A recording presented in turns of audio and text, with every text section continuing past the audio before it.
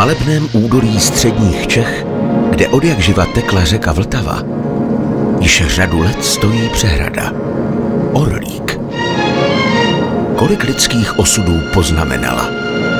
Nechte si znovu převyprávět nový příběh staré řeky. Na doku CS.